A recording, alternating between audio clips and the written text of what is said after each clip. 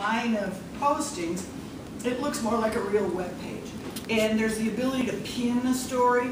So you have, if you have a story that you don't want to go away, you can pin that up like, don't forget, our fundraiser is like in two weeks. That can be pinned up at the top of your page.